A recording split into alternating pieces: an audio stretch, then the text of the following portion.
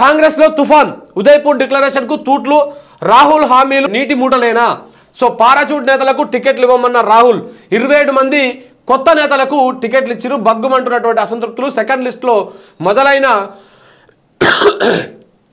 Second లిస్టుతో మొదలైన రాజీనామాల పర్వం కీలక నేతలు రిజైన్తో ఇక్కట్లు గాంధీ భవన్కు భారీ భద్రత కాంగ్రెస్కు లాయల్గా పనిచేయడం వేస్ట్ అని చెప్పేసి విష్ణువర్ధన్ రెడ్డి చెప్తున్నటువంటిది. ఆఫ్ టికెట్ గాళ్ళకు ఎట్లిస్తారు ఫైర్ అని చెప్పేసి ఈ ఆఫ్ టికెట్ అనేటువంటి పదము మైనంపల్లి రోహిత్ రావుని ఉద్దేశించి అన్నట్టుగా సోషల్ మీడియాలో చర్చ నడుస్తున్నది. మరి ఈ ఇట్లా ఒక్కొక్కరికి ఒక కుటుంబంలో రెండు రెండు టికెట్లు ఇచ్చిర్రు.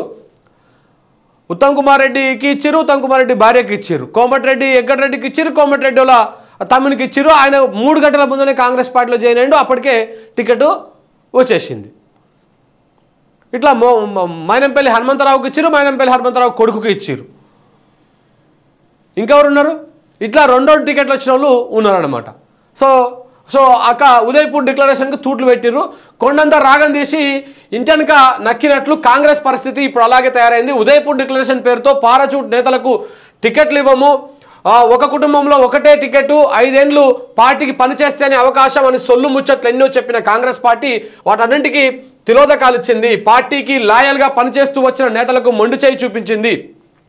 సర్వేల పేరుతో నెలల పాటు నానా హంగామా చేసి తీరా కొత్తగా చేరిన వలస నేతలకు టికెట్లు ఇవ్వడంతో తెలంగాణ వ్యాప్తంగా అసమ్మతి బగ్గుమంది తీవ్రమైన తుఫాన్ గాంధీ భవన్ను తాకింది. సెకండ్ లిస్టులో ప్రకటించిన నలభై ఐదు సీట్లలో పదిహేను మంది కొత్త ముఖాలే ఉన్నాయంట. పదిహేను మంది అప్పటికప్పుడు పార్టీలు మారిన వాళ్ళే పదిహేను మంది ఉన్నారు కొత్త అమ్మకాలు దక్కడంతో రాజకీయ విశ్లేషకులు సైతం విస్మయం వ్యక్తం చేస్తున్నారు. ఓవరాల్గా వంద స్థానాలకు అభ్యర్థులను ప్రకటిస్తే అందులో ఖచ్చితంగా గెలిచేవి ఎన్నో ఆ పార్టీ నేతలే చెప్పలేని దుస్థితి.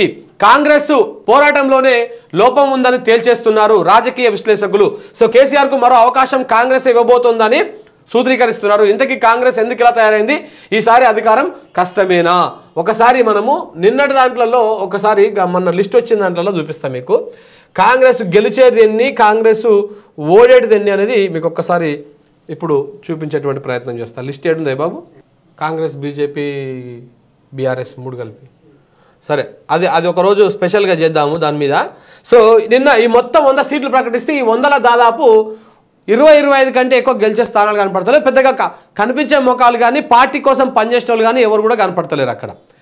మరి ఆ మూటలు మారినాయా చేతులు? లేకపోతే కోట్లు చేతులు మారినాయా? ఎంతమంది అదైందనేది మనము చూడాల్సినటువంటి అవసరం ఉంది మిత్రులారా. కాబట్టి ఉదయపూర్ డిక్లరేషన్ లేదు ఏది లేదు. మొత్తానికి కాంగ్రెస్ పార్టీ ఈ విధంగా పైసలు వానికి ఇస్తే వానికి టికెట్లు అమ్ముకున్నటువంటి పరిస్థితి కనపడుతుంది ఇక.